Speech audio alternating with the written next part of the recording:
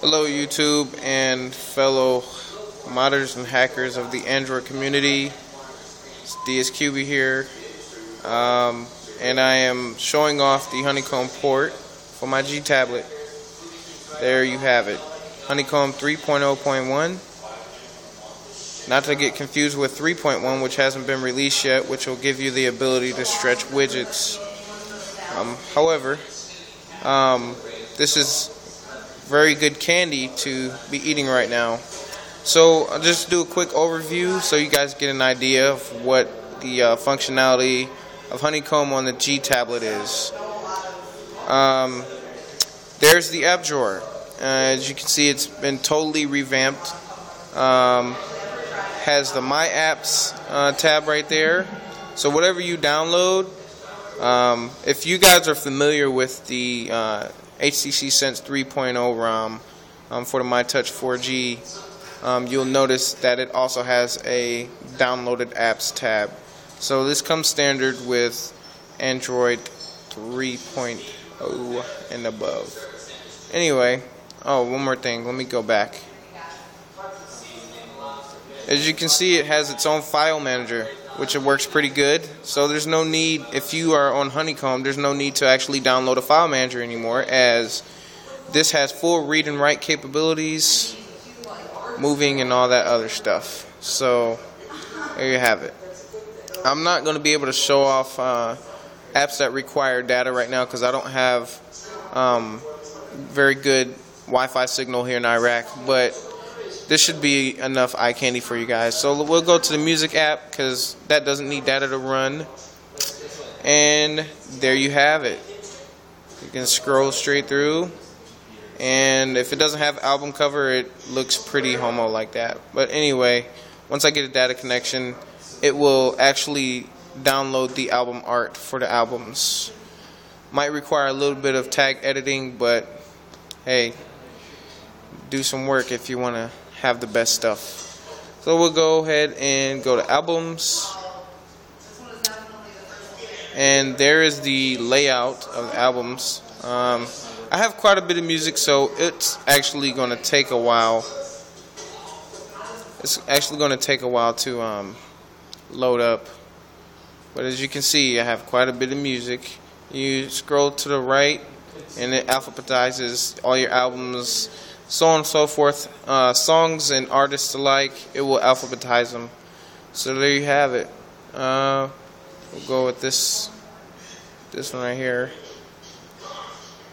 and we'll play that one.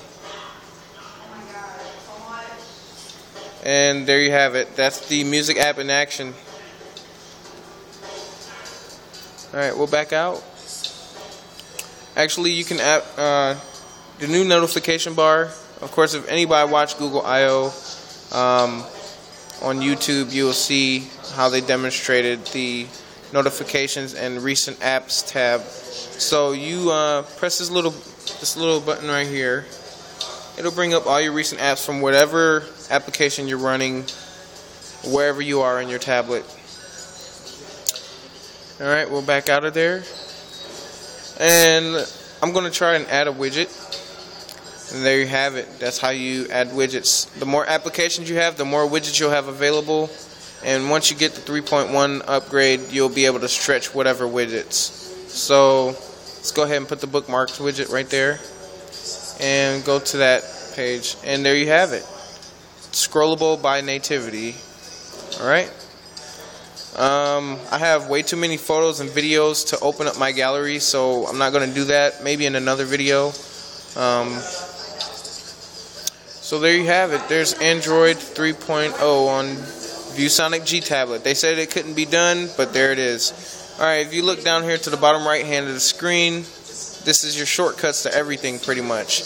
You want Wi-Fi, click on that, and there you have it. You can click on whatever settings, or if you want to go to overall settings, just go right there. And there you have it. The new settings menu looks pretty, uh, pretty BA. Um, we'll go with about tablet. And as you can see, Android version 3.0.1, Bottle of Smoke. That's the ROM name for anybody wondering what port this is. It's actually Notion Ink Adam's port, but there's a lot of compatibility between the two uh, devices and their framework, so it was easily ported to the G tablet and the Advent Vega. Um, let's see. Is there anything I'm missing? If it is, I'm sorry. Uh, this, like I said, is just an overview. I haven't really had a chance to play around with it in depth um, because I don't have a data connection as of right now. But once I do, I will definitely post another video.